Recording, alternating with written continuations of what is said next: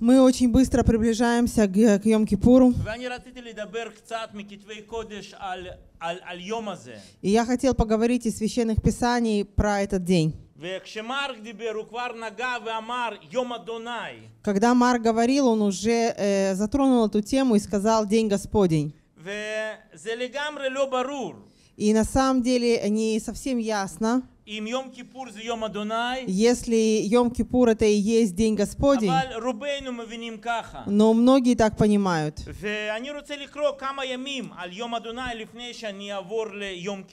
И я хочу прочитать несколько вещей о Дне Господнем до того, как я перейду к Йом-Кипуру. В книге пророка Амоса, в пятой главе,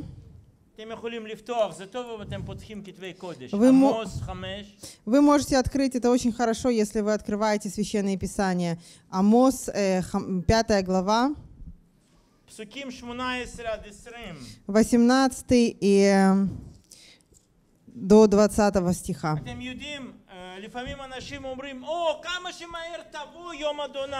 Многие говорят, скорее бы наступил день Господень. Но здесь написано, горе желающим день Господень.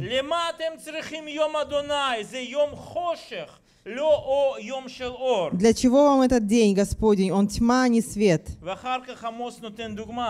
И потом Амос приводит пример. Если бы кто-то пошел в лес для того, чтобы собирать э, лесные ягоды, и вдруг увидит э, медведя, и, и этот медведь хочет его, на него накинуться. И он убегает и спасает себя от э, медведя.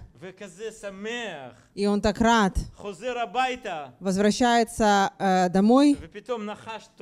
И вдруг и его ужалит змея. И Амос говорит, послушайте, ребята,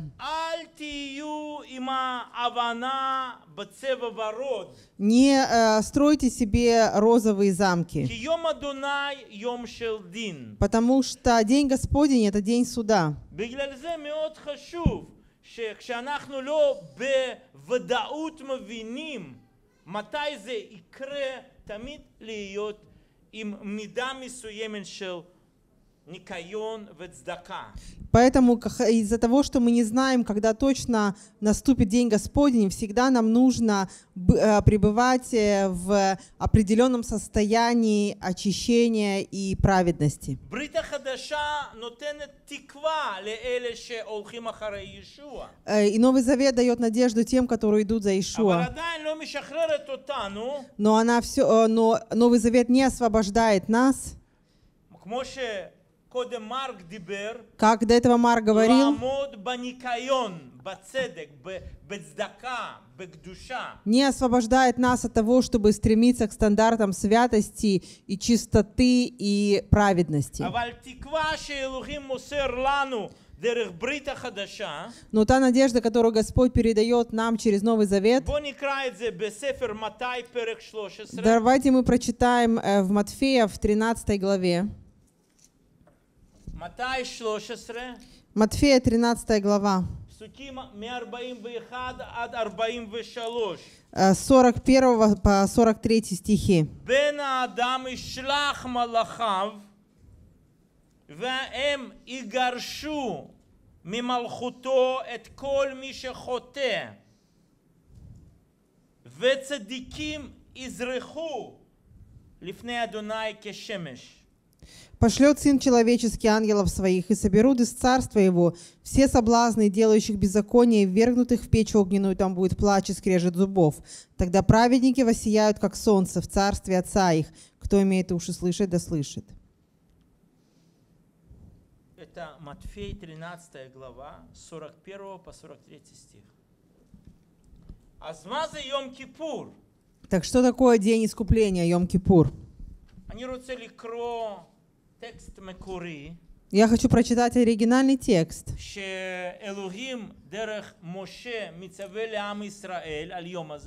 который заповедует Моше и народу Израиля, что делать в этот день. И это э, Левит, 23 глава. Тот, кто хочет понять праздники Израиля, Э, включая шаббат, э, изучайте Левит 23 главу.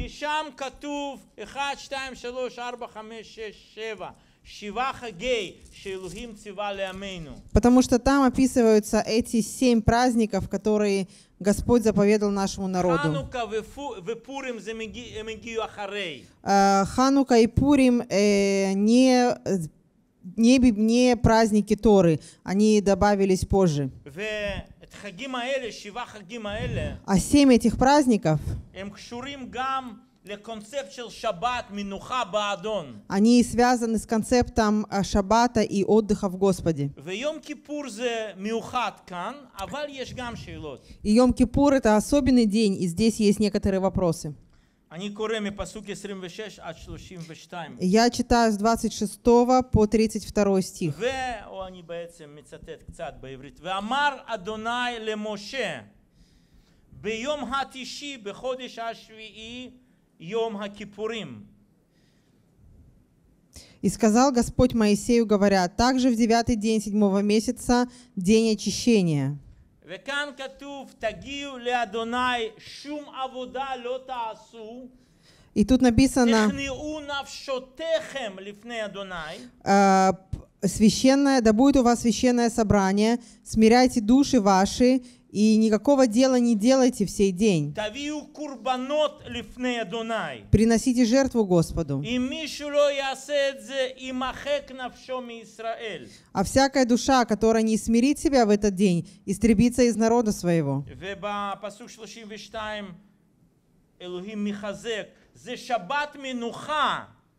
И в... В 32 стихе Бог укрепляет и говорит, для вас это суббота покоя, смиряйте души ваши.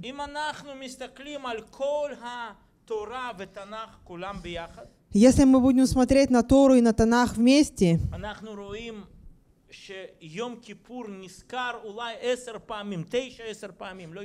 мы увидим, что Йом-Кипур упомянут э, во всем Танахе где-то 9-10 раз, не больше. В три раза в книге Исход это был намек на Йом-Кипур. В книге Левит три раза говорится об этом празднике. И также в числах два раза говорится. ויש אחר כך תקופה שכאילו יש שתיקה דווקא על יום הזה. И потом есть такой период, когда ничего не говорится про этот день. אנחנו רואים כרמז יואל בפרק 2 מדבר על, על, על החגים אה, של ה... של ה... אוסין. לא, של תשרי, כן. А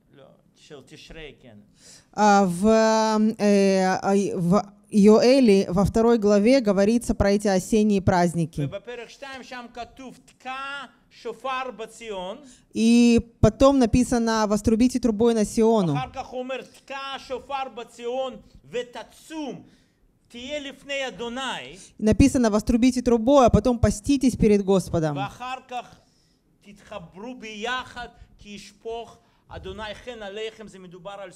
И потом написано, собирайтесь вместе, и Господь изольет на вас милость. И это написано про Сукот. Также в книге пророка Неемии есть немного объяснений. Не напрямую на э, Йом-Кипур, но именно о том, что народ Израиля вернулся из Вавилонского плена. И в Вавилонии они не справляли никакие праздники. Когда они вернулись в Израиль, написано, что а, Эзра а, прочел перед ними э, исторы.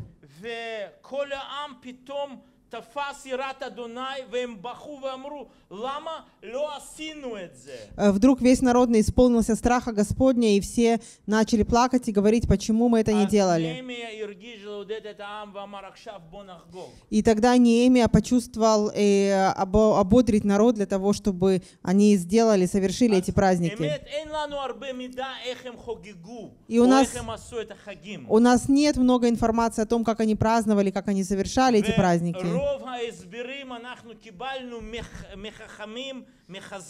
И мы э, от Хазара получили, от мудрецов, э, в основном объяснение, как это делать. Честно говоря, я сильно э, не доверяю этим объяснениям. Но у нас есть очень ясная заповедь. И что эта заповедь говорит нам? Я уверен, что вы тоже помните. Говорят, поститесь. Но в Торе написано «смиряйте ваши души». Будьте смиренными. Есть разные способы смирить душу. И есть э, люди, которых э, пост не сильно смиряет.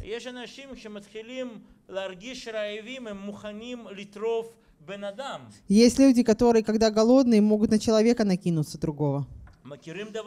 Вы знаете такое? А, с... а здесь есть заповедь именно быть смиренными в это время. И есть заповедь приносить жертвы.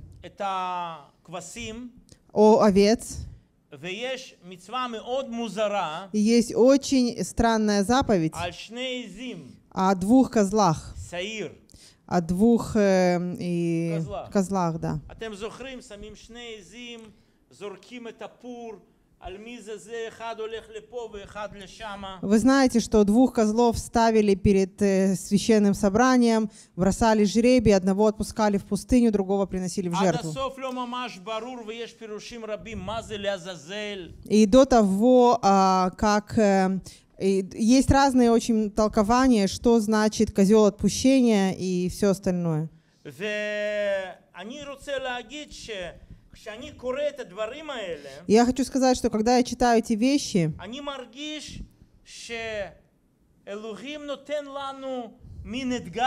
я чувствую, что Бог дает нам э, вызов, бросает нам вызов.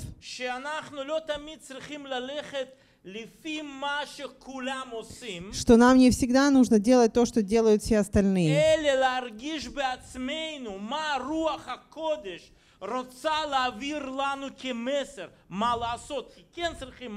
Но почувствовать, что Дух Святой передает нам, что делать, потому что да, нужно что-то делать. Вы понимаете, о чем я говорю? В каждом сидуре есть очень много молитв, особенно на Йом-Кипур и в том, что я сейчас послал вам на WhatsApp. Но если ты будешь прозно произносить эти слова как попугай, то эти молитвы для тебя ничего не сделают. И очень э, это здоровая ситуация, когда какое-то слово проговорит именно к тебе. И ты на этом слове сосредоточишься. Я хочу ободрить вас, чтобы мы все стали и личными э, искателями Бога. Не так, что я делаю так, как э, все делают. Но попросить у Бога, Отец наш, Говори ко мне. Я принимаю все, что наш народ делает. Но я хочу лично узнать, получить откровение. Мы сейчас живем в очень особенное время. И я не знаю, что это за время.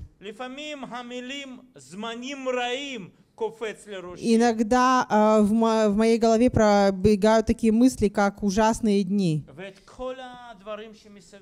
И все эти вещи, которые происходят вокруг нас. Когда я думаю про Йом Кипур 2021 года, ближайший Йом Кипур,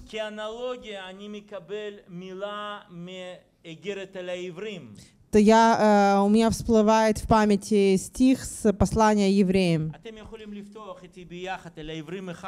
Вы можете открыть вместе со мной э, евреям 11 главу с 8 по 10 стих.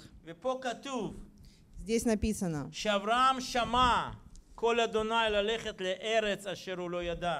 что вера Авраам поминовался призванию идти в страну, которую не знал. והוא היה חי בארץ הזאת באוהלים עם יצחק ויעקב. Верою обитал он на земле обетованной, как на чужой, и жил в шатрах с Исааком אבל, и Иаковом. פסוק אחרון, עשירי, אבל הוא ציפה לעיר שבסיסו זה אלוהים עצמו. И последний стих 10, «Ибо он ожидал города, имеющего основание, которого художник и строитель Бог». וזה משהו מאוד דומה это что-то очень... э, спасибо. Это очень э, похоже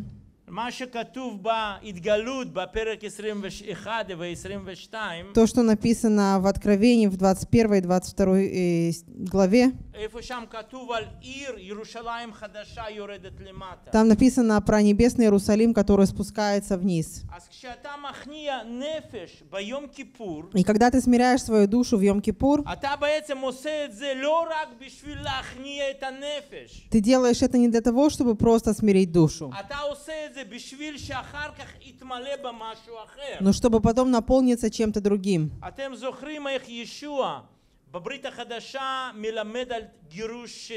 Вы помните, как Иешуа э, учит об изгнании бесов в Новом Завете? Он, говоря, он говорит, что если из человека изгонят беса, потом бес возвращается.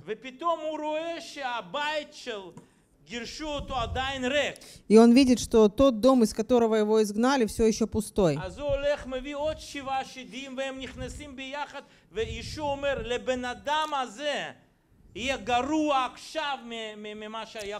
Тогда еще говорит, этот бес ходит и находит семь духов еще злейших себя и приходит и заходит в этого человека и становится ему намного хуже, чем было.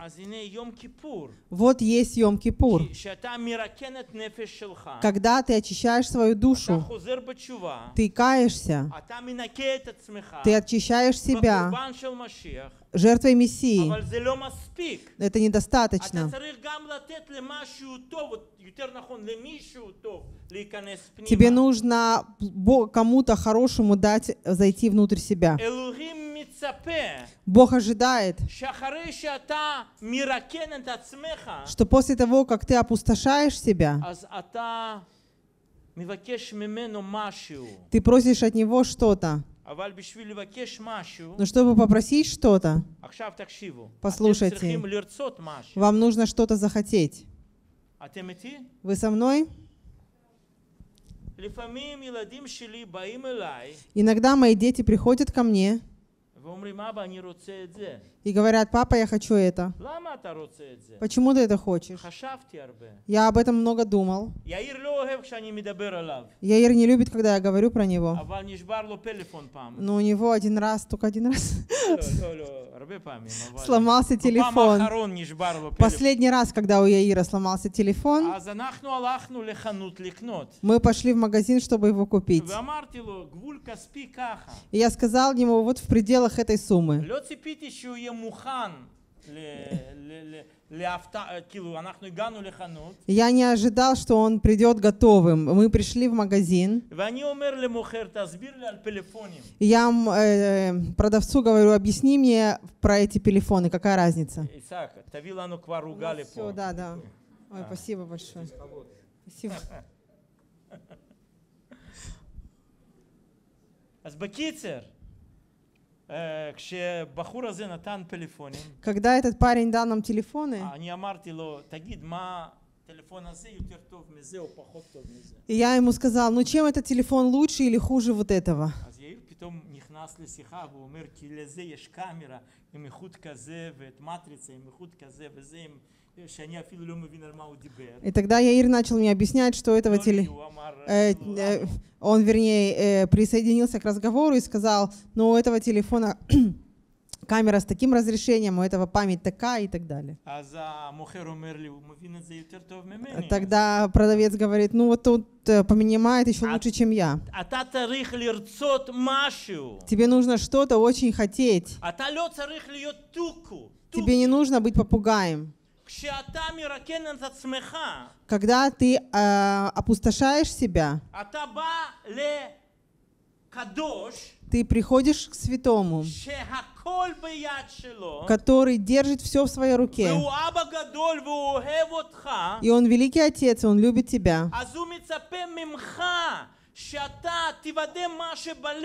Тогда он ожидает от тебя, что ты признаешься ему то, в чем в твоем сердце.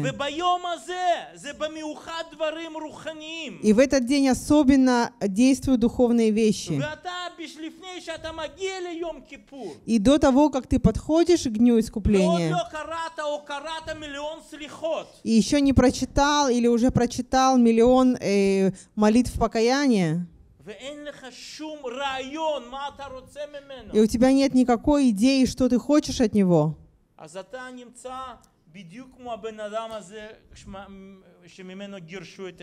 Ты тогда по, а, находишься в положении того человека, из которого изгнали беса. Четыре небольших пункта. Первое — это хотеть. Или возжелать. Возжелать. Лирцот. במזמור כתוב, В псалме написано, как лань желает к потокам вод. נפשי רוצה אותך, אדוני. «Моя душа желает тебя, Го- Господь». כשמדובר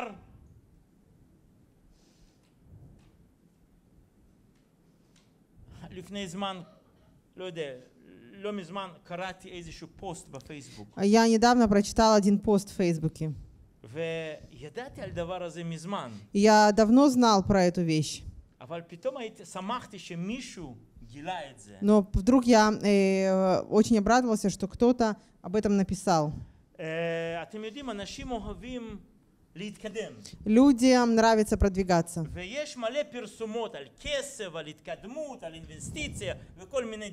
И очень много рекламы есть по поводу денежных вложений, инвестиций и...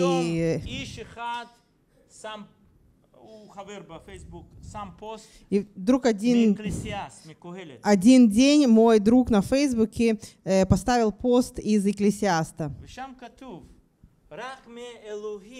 И там написано, что только от Бога, а будешь ли ты богат или беден. Это от Него. И тебе нужно научиться а, оставаться в покое. Как Шауль когда-то учил что я могу жить э, в бедности и могу жить в изобилии. Почему я говорю об этом сейчас?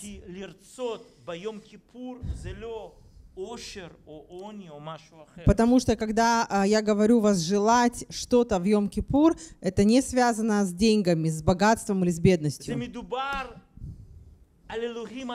Говорится о самом Боге. Вы помните Муше? Он говорит, открой мне свой путь, или я никуда не иду.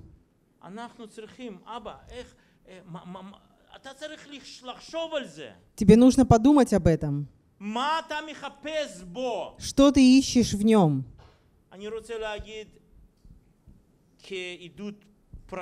Я хочу сказать, как личное свидетельство, после того, как я переболел коронавирусом, и а, с Божьей помощью исцелился, כמה דברים השתנו בראש. несколько вещей изменились в моей голове. ואני חושב שגם רב, רובנו, אנחנו יותר מבוגרים ויש לנו עדיפות אחרת. Я думаю, что многие из нас, мы взрослые, у нас э, переоценились приоритеты. קהלת אומרת לנו, ראיתי שגם זה מיד אדוני. А в Екклесиасте написано, увидел я, что и это рука Бога. אז אה, תחפשו, תרצו משהו נכון. И а, возжелайте правильных вещей. ונקודה שנייה Второй пункт זה לדפוק. – это э, стучать. לא משנה. Второе — это искать, стучать. И написано в Евангелии от Луки, «Тот, кто стучит, тому отворят, а тот, кто ищет, тот найдет». Если мы хотим от Бога что-то, Он ответит нам. Еще один пункт. Это благодарить. Благодарить. Написано в Иоанна. В 17 главе, когда Иешуа поднял свой взор, он возблагодарил Бога. И потом сказал, Отец, вот пришел, э, вот пришло мое, пришел мой час.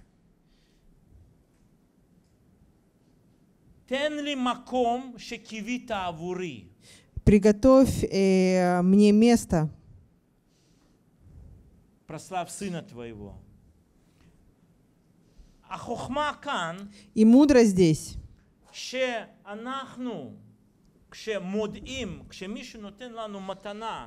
когда кто-то дает нам подарок, и это не что-то маленькое, а что-то, что подходит тебе, и ты ожидал этого,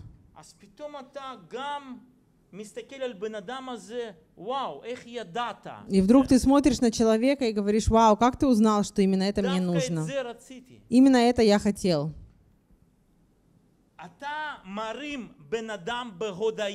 Ты поднимаешь этого человека своей благодарностью.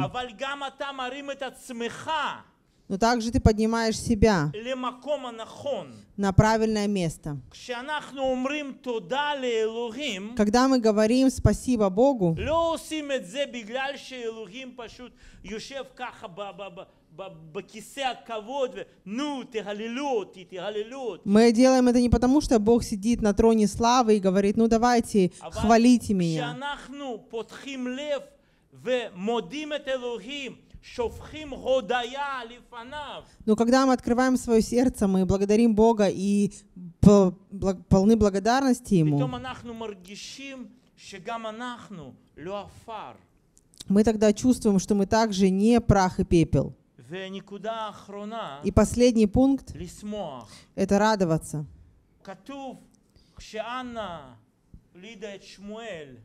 Э, мы знаем место Писания, что когда а, Анна родила Шмуэля, она э, вернулась в храм в Самарии,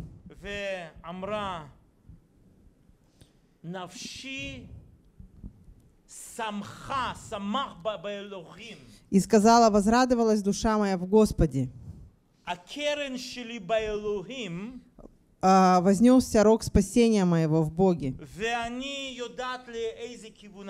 И я знаю, в каком направлении я иду. Когда мы знаем, чего хотеть,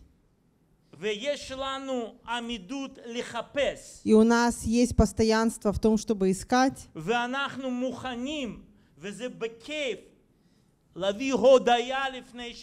И мы рады и а, готовы благодарить небеса. Мы открываем себя для чего-то хорошего с небес, который может наполнить нас вместо зла. Для того, чтобы наполнились добром. На этом я хочу завершить. И я хочу пожелать себе и всем, чтобы когда в Йом-Кипур мы могли приближаться к Нему, чтобы мы пережили нечто новое от Бога что-то особенное. Чтобы, когда, как Анна, мы могли сказать, что мой рог вознесся. И это выражение означает, что у меня есть направление,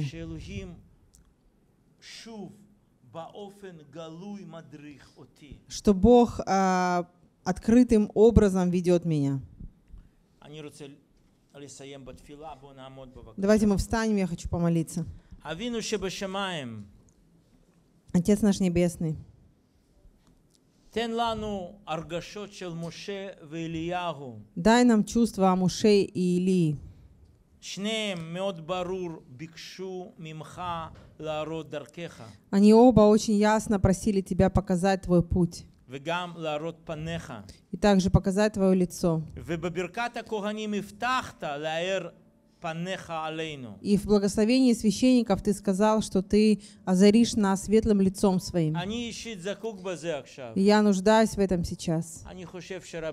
Я думаю, что многие из нас нуждаются. Отец наш Небесный, дай нам водительство во имя Ишуа Мессии. Аминь. Аминь.